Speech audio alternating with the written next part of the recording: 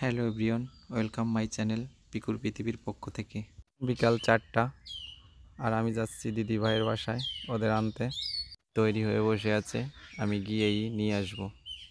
আসার পরে আমি একটা রেসিপি শেয়ার করব, সেটা হচ্ছে খেজুর গুড়ের একটা পিঠার রেসিপি যেটা হচ্ছে যে দিদি ভাইয়ের দুইটা ছেলে মেয়ে আছে, ওরা খুব পছন্দ করে পিঠা খেতে, আমি ওটা নিজে বানাবো। তো চলুন বন্ধুরা, যাওয়া যাক, যেতে যেতে কথা হবে আবার। এটা একটা ফ্রেন্ডের বাইক সঙ্গে যাচ্ছি দিদি ভাইয়ের বাসায়। ওরা তৈরি হয়ে বসে আছে জাস্ট গিয়েই নিয়ে আসবে। ফেরবার সময় আমি একটা অটোতে আসব। বাসার কাছাকাছি চলে আসছি অলরেডি আর দু এক মিনিট লাগতে পারে।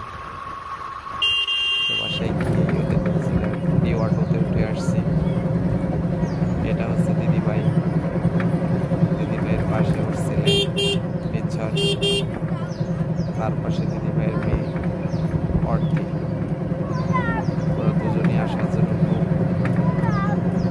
তাড়া দিচ্ছিল যে কবে যাব মহাবাড়ি কবে যাব চলে আসলো অলরেডি আর দু এক মিনিট লাগবে বাসায় ফিরতে চলে আসব এখনই। ওরা আসার আগে মা পাশের বাড়ির এক মহিলাকে দিয়ে চালের গুঁড়া রেডি করে রাখছিল। ওটা দিয়ে পিঠাটা বানাবো। এখন পিঠাটা বানাতে আমি চলে আসছি। এখানে যে উপকরণগুলো লাগছে সেগুলো হচ্ছে এক কাপের মতো চালের গুঁড়া নিচ্ছি আমি এখানে। এক কাপের মতো ময়দা, হাফ কাপ চিনি আর যেটা লাগছে সেটা হচ্ছে যে আমি এক কাপের মতো গরম দুধ ও হাফ কাপের মতো খেজুর গুড় নিয়ে নিচ্ছি এগুলো সব কিছু মিলিয়ে আমি একটা বেটার তৈরি করব।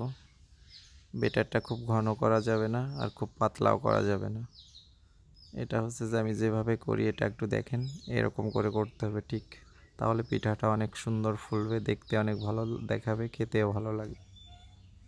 বেটারটা আমি সুন্দর করে একটা চামচের সঙ্গে ভালোভাবে মিশিয়ে নেব, যাতে দানা দানা ভাবটা না থাকে, আটা চালের গুঁড়োটা সুন্দর করে মিশে যায়। আর আমি যে দুধটা দিয়েছিলাম, ওটা হচ্ছে যে গরম হলেও কুসুম গরম, খুব বেশি গরম না, গরম দুধে, খুব গরম দুধ দেওয়া যাবে না। এভাবে কিছুক্ষণ মেশানোর পরে আমি গুড়টা দিয়ে দিলাম। গুড়টা দিয়ে আর কিছুক্ষণ মিলালে একদম সুন্দর হয়ে যাবে। হালকা একটা কালার, মিষ্টি কালার। আমি সব গুড় দিলে এটার কালারটা বেশি লাল হয়ে যেত, সেজন্য অর্ধেক চিনি, অর্ধেক গুড় দিছি। যাতে কালারটাও দেখতে ভালো হয় এবং ফ্লেভারটা আসে, খেজুর গুড়ের ফ্লেভার। এভাবে কিছুক্ষণ হাতা দিয়ে নেড়ে চেড়ে মেশানোর পরে আধা ঘণ্টা রেখে দিব। আধা ঘণ্টা পরে আমি পিঠাটা বানাবো। আধা ঘণ্টা হয়ে গেছে, এবার আমি চলে আসছি পিঠাটা বানাইতে।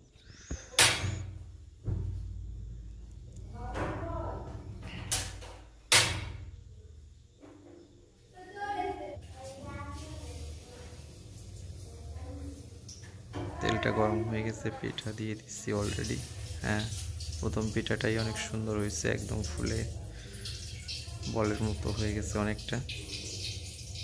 করে পিঠা বানালে অবশ্যই ফুলবে, আমি জানি আগে, আমি বাসায় আগে বানিয়েছি। আর প্রত্যেকটা পিঠাই ফুলবে, আমি জানি।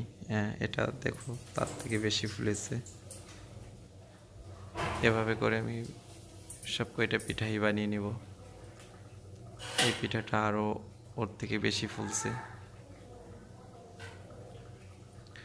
আর প্রত্যেকটা পিঠাই ফুলবে। পিঠা ফোলার হচ্ছে যে, এভাবে করে বেটারটা তৈরি করে আধা ঘণ্টা রেখে দিলে পিঠাটা অনেক সফট হয় আর সুন্দর ফুলে ওঠে। এখানে খেজুর গুড়, ফ্রেশ চালের গুঁড়া দেওয়া হয়েছে, কিছুটা ময়দা। তার জন্য পিঠাটা দেখতে অনেক সুন্দর দেখাচ্ছে। এবং প্রত্যেকটা পিঠা ফুলতেছে অনেক সুন্দর। এরকম করে করে আমি সবগুলো পিঠা বানিয়ে নিলাম। আর অর্থি তো পিঠা খেতে অনেক পছন্দ করে, কিন্তু ভিডিওর সামনে একদমই আসতে চায় না। ও সাই ফিল করে, সেজন্য হয়তো বা খাওয়ানোটা দেখাতে পারব না।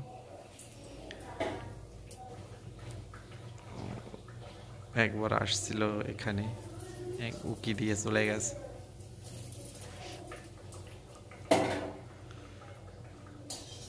তো বন্ধুরা, আপনারা আশা করি বাসায় এভাবে চেষ্টা করবেন।